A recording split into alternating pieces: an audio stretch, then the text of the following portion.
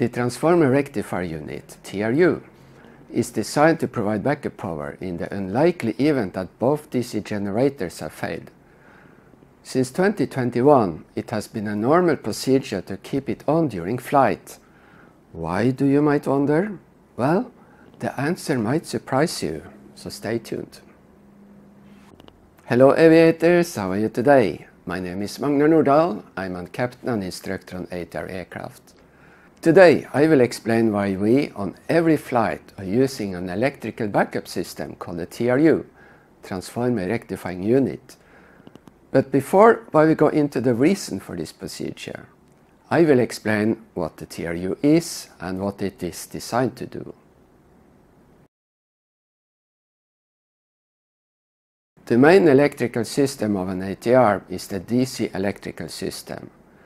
In the core, it has two batteries powering the most important systems that you need to fly the aircraft. The emergency battery and the main battery are connected to an emergency bus, essential bus, and two standby buses, one DC and one AC via an inverter. Each engine drives a DC generator that also functions as a starter. Each generator powers a main bus, DC bus 1 and DC bus 2, plus some less important buses called the service bus and utility buses. DC bus 1 supplies inverter number 1 and charges the emergency battery. Likewise, DC bus 2 supplies inverter 2 and charges the main battery. The inverters supply the AC constant frequency buses. As long as at least one DC generator is working, the DC and AC systems are powered.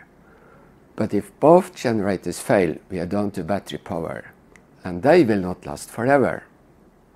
This is a problem if you want to make long flights over water or isolated areas without any alternate airports nearby. ATR aircraft also have two AC generators with variable frequency. They are attached to the propeller gearbox, and because propeller RPM can vary, the AC frequency will vary. Therefore, the generators are called AC wild generators.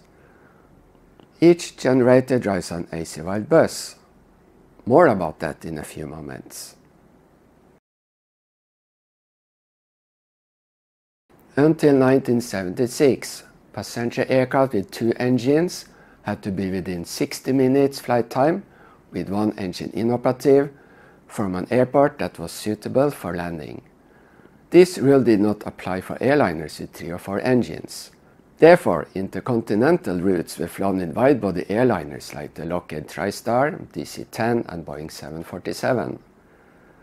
But they were expensive to operate and many potential routes did not have enough passengers to make it economically viable to use such large aircraft. Then came the Airbus 300, Previous experience with high bypass engines in the before mentioned wide bodies show that those engines are very reliable. In 1977, the Airbus 300 was certified to what became known as ETOPS 90. ETOPS means Extended Range Twin Engine Operations, and 90 means that the aircraft can operate up to 90 minutes at single engine speed from a suitable airport where you can land. Later, we got ETOPS 120, ETOPS 180, and so on. Today is the term ETOPS replaced by EDTO, Extended Diversion Time Operations, because they also include aircraft with more than two engines.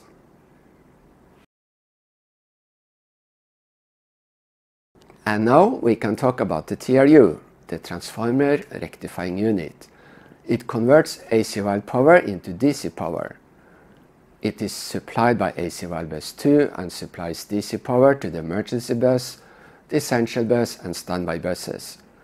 So if we lose both DC generators, the TRU is selected on and we supply the important buses.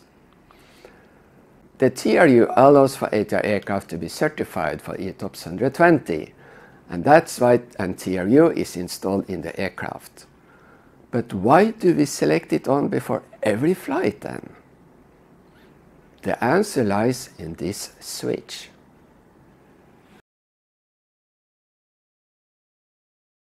On the 3rd of July 2020, an ATR 72-600 of Wings Air with registrations Papa Kilo Whiskey Hotel Yankee on flight 3544 from Pattimura Airport to Irarato Airport in Indonesia had just departed from Pattimura when all display units went blank.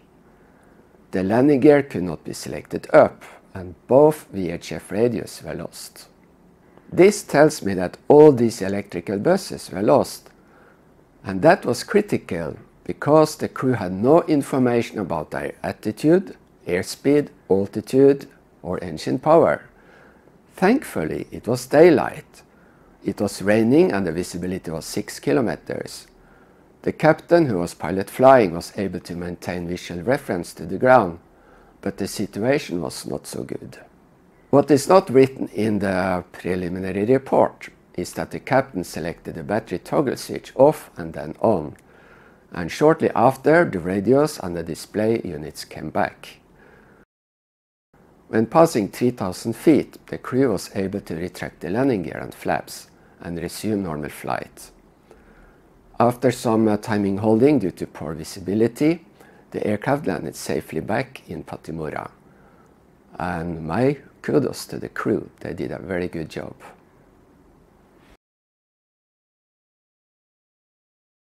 This and a similar incident have been reported to ATR. ATR opened an investigation and they identified the battery toggle switch 7PA and a contactor called 1PA as potential culprits.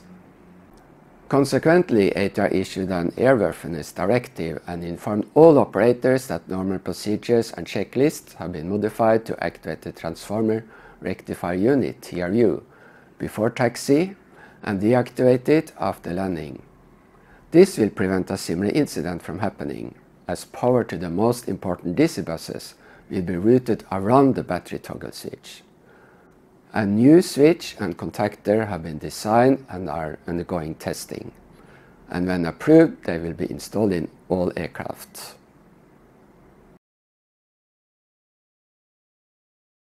So there we are. The TRU was designed to allow for ATR to be approved for ETOPS, but it ended up preventing all ATR 600 from being grounded after the two incidents.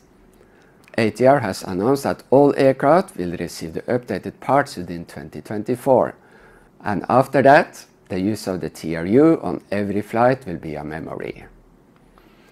Thank you for watching, have a wonderful day, and happy landing!